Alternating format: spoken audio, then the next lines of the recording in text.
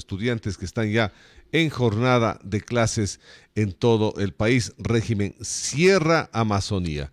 Vamos con nuestra siguiente entrevista. Le damos la bienvenida a Monseñor Luis Cabrera. Gracias, Monseñor, por estar en este espacio informativo de la W para socializar sobre lo que está pasando en las mesas de diálogo en la ciudad de Quito. La información que tenemos es de que el movimiento indígena, a través del señor Isa, en horas anteriores hizo pronunciamientos de que van a hacer evaluaciones este próximo 9 de septiembre porque sienten que muy poco se avanza en estas mesas de diálogo. ¿Qué criterio tiene usted, Monseñor, que ha estado involucrado durante todo este proceso que lleva ya mm, más de 45 días? Hemos pasado la mitad del proceso que se estableció de 90 días para tener resultados sobre los planteamientos que hizo el movimiento indígena luego de ese paro que fue prolongado en el país de, en el mes de junio pasado. ¿Qué criterios tiene, Monseñor? Buenos días. Muchísimas gracias por esta oportunidad. Yo creo que lo primero fundamental es lo que voy a decir aquí. Ha habido un cambio radical del esquema primero que era demanda-respuesta. Las demandas lo ponían los indígenas y las respuestas tenía que ver el gobierno. Ese fue, digamos, el esquema que se manejó durante todas las movilizaciones. Al firmarse el acta de paz, ahí se cambia el esquema. Y el esquema es entonces propuesta y decisiones. Propuestas de parte y parte y decisiones. Entonces, en función de eso, se reaman todos los objetivos. ¿Cuál es el primer objetivo? Discutir las propuestas tanto de los indígenas como del gobierno. Propuestas. Segundo, tomar decisiones conjuntas ¿no? sobre estos temas que se han tratado. Y en esas decisiones aparecen cuatro formas de, responder, cuatro resultados. El primero, si llegan acuerdos, que pueden ser uno o cinco, pues bien, acuerdos. Pero también se señalan los desacuerdos. Y luego los temas pendientes. Y finalmente el proceso de seguimiento. En función de estos objetivos viene la metodología. Fíjese, la metodología tiene el mismo esquema. Primero se abren las mesas, segundo se discuten las propuestas y tercero se cierra la mesa con, con acuerdos, desacuerdos, puntos pendientes y más. En función del objetivo de la metodología vienen los tiempos. Los tiempos. ¿Cuál fue el tiempo? Dice un día cero. ¿Para qué? Para organizar la mesa. En esa organización entra la acreditación, entran los invitados que tienen que ir a, la, esa mesa según la, temática, luego tienen los peritos y de la parte de la conferencia se pone a los facilitadores y redactores de la mesa. Ahora comienza entonces ya prácticamente el diálogo. Cinco días, se puso cinco días como máximo. El primer día es tratar las propuestas de parte y parte. Si es que en ese primer día ya se llega a acuerdos, desacuerdos y demás, se espera la mesa. Si no es posible, se pasa un segundo día, donde las partes trabajan por separado. Tercer día, otra vez las propuestas, y ahí se concluye la mesa, se acabó la mesa. Si no es posible, al cuarto día, nuevamente a trabajar por separado, y finalmente el quinto día, dije el quinto día, es donde ya se llega a la decisión final de acuerdos, desacuerdos, temas pendientes y más. Entonces, eso es importante la, orientación. Respondiendo a su pregunta, entonces todo eso se hace de una manera consensuada. Nosotros tuvimos el, el, 31 de, de, agosto la mesa de coordinación. Evaluamos, pero todos, tanto los representantes del gobierno como de, de las organizaciones indígenas y sociales. Entonces, ahí al evaluar si hay cuatro mesas abiertas. No podemos seguir así. ¿Por qué están esas cuatro mesas abiertas? Razones. Primero, por la complejidad de los temas cada tema es muy amplio. Necesitan también de otros aportes financieros, legales, técnicos. Y la segunda razón, y aquí respondo a usted, es porque no se, eh, no se respetaron los tiempos prefijados. Lógicamente en las mesas técnicas comenzaban las propuestas, dijeron, bueno, aquí nos vemos después de tres días, después de cinco días, porque hay muchos temas aquí pendientes. Entonces no respetaron eso. Decisiones, tres decisiones que se tomaron ahí pero en conjunto. Yo creo que eso es importante también. Y aquí respondo ya sin inquietud. Primera decisión, que se respeten los tiempos. Segundo, que se cierren las mesas hasta el 9 de septiembre, las mesas abiertas, cuatro. Esto fue una decisión de todos, no es una imposición, una amenaza. Y lo segundo, que se abran las mesas pendientes a partir del 12 de septiembre y se cierren el 12 de octubre. Pues yo creo que eso es importante que la ciudadanía sepa.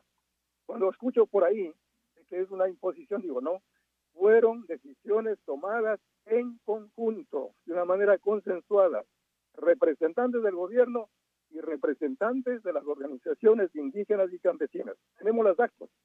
Y esa es nuestra misión, informar de una manera oficial lo que se dice.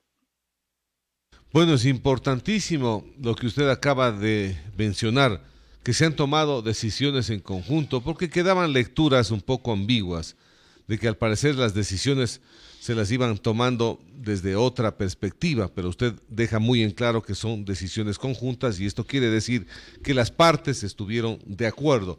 Ahora en el avance de las mesas temáticas, banca pública, de acuerdo a lo que dice el movimiento indígena, quizás es ahí donde se ha avanzado y se ha avanzado bien. Ha habido un acuerdo en el tema de la banca pública, Monseñor. Exactamente, ahí llegaron acuerdos, pero lógicamente ahí entonces cuando ya se trata de aplicar, ¿no? de llevar o de traducir en proyectos y programas, se encuentran con otras dificultades, a veces financieras. ¿Quién paga?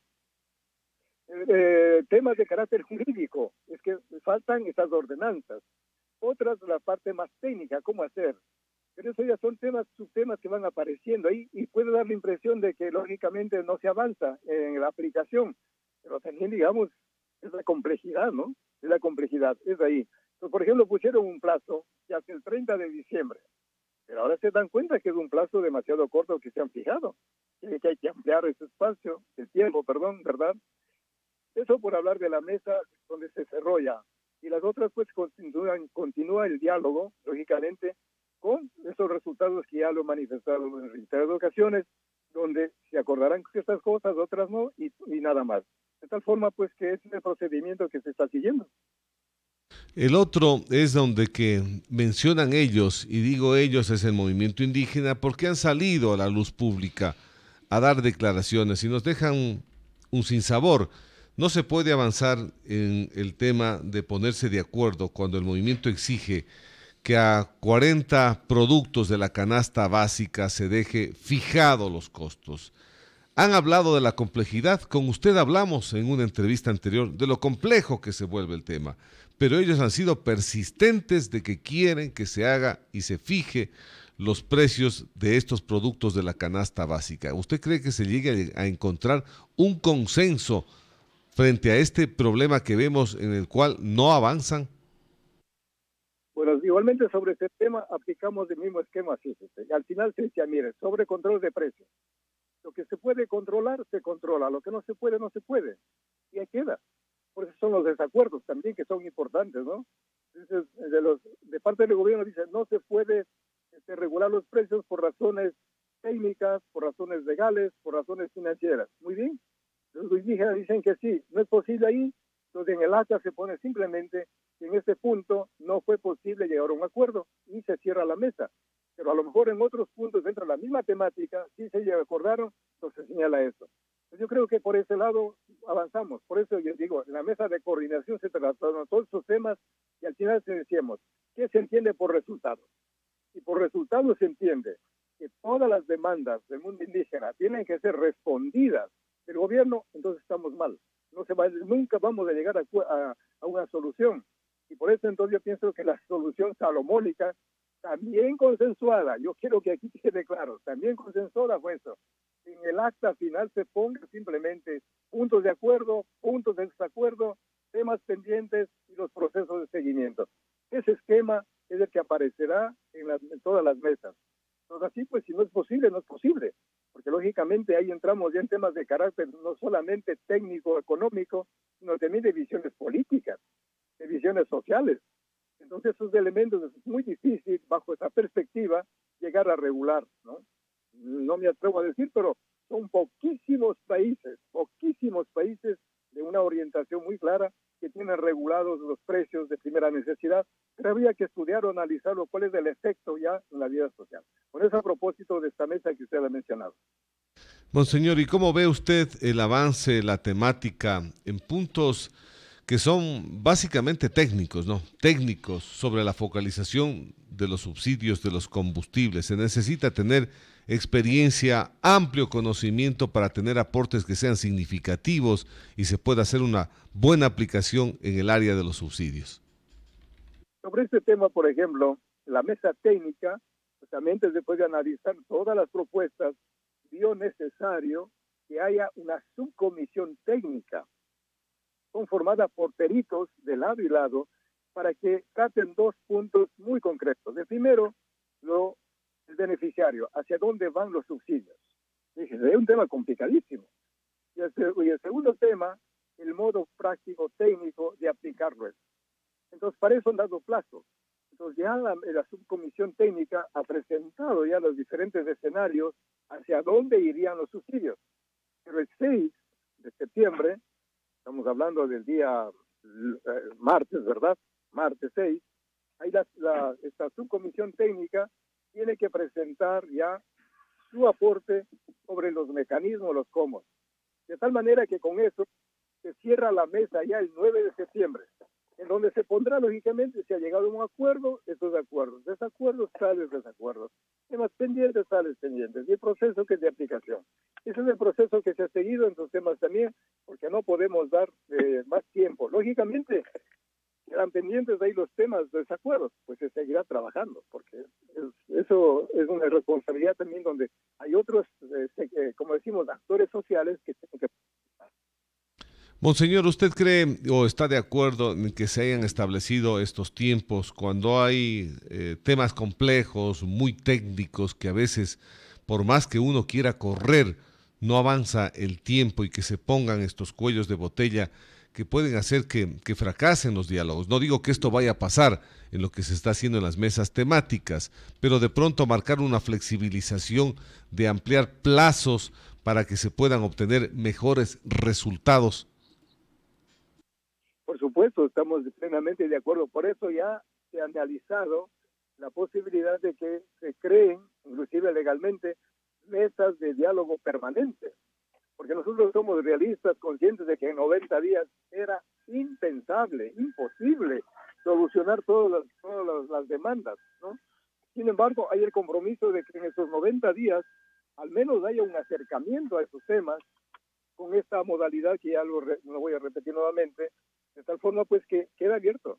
Y ojalá se decía se institucionalice de una vez por todas las mesas de diálogo con todos los sectores de la sociedad para ir tratando ahí sí ya punto por punto, desde diferentes perspectivas y llegar pues a alguna solución, algunos puntos comunes y otros pues a lo mejor son muy posibles, también hay que ser realistas, ¿verdad? A su criterio, Monseñor, de todo lo que ha podido vivir, de todo lo que ha podido ver, ¿cree que esto está avanzando por buen camino? que vamos a tener buenos resultados y que no volvamos a tener a futuro un nuevo estallido social como el que vivimos en el pasado mes de junio?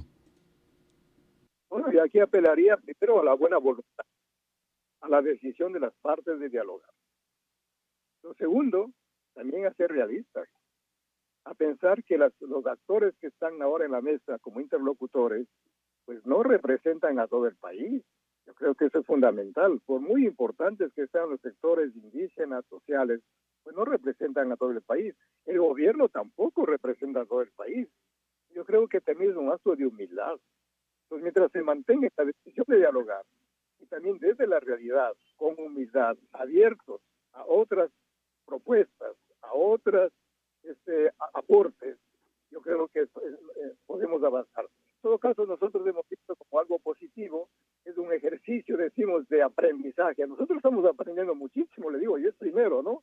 realmente es poder entender la, la, realidad, entender los distintos puntos de vista, es un esfuerzo que uno tiene que hacer. Entonces yo creo que es un aprendizaje y ojalá nosotros aprendamos a resolver los problemas a través del diálogo. Yo creo que es el gran desafío, el gran reto que tenemos. Y ustedes también como comunicadores sociales, imagínense el papel enorme que tienen ustedes justamente las partes se sienten, dialoguen y a través del diálogo pues llegar a acuerdos.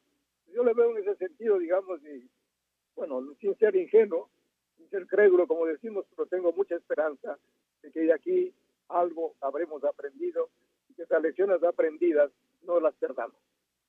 de esto que ellos mencionan de una evaluación que va a ser, van a hacer ellos el 9 de septiembre, a pocos días más. ¿Está, ¿Usted cree que está correcto que ellos hagan una evaluación de los avances que se van teniendo en las mesas de diálogo? Bueno, yo digo, el gobierno puede hacer sus evaluaciones particulares. Los indígenas pueden hacer sus evaluaciones particulares, pero estos son respetables. Pero la evaluación que hicimos ya en su conjunto es la que acabo de decir. Pues yo creo que no podemos, y ahí sí permítame decir, este, imponer visiones, sea del gobierno o de ellos, a lo que se ha, reflexionado de una manera conjunta, porque eso fue el compromiso de las partes frente al país. Yo creo que no se puede jugar o utilizar mi visión, mi posición, mi evaluación para imponer, y perdónenme a lo mejor, para inclusive llegar a situaciones de chantajes y cosas por el estilo, amenazando. Yo creo que hay que quitar de la mente de que ese camino de eso es violencia también, otro tipo de violencia, ¿no le parece? Pero la violencia pues no lleva a un camino, no lleva a ningún puerto seguro, a la paz en este caso, o a la justicia, sus grandes valores. Entonces respetamos las evaluaciones, pero la evaluación que hicimos nosotros en su conjunto fue esta. El 9 se concluyen las mesas abiertas y el 12 continúan las otras mesas. Esta fue una decisión tanto del gobierno como de las organizaciones indígenas y sociales. Si alguien de las partes ese camino está aquí atrás, es responsabilidad de ellos.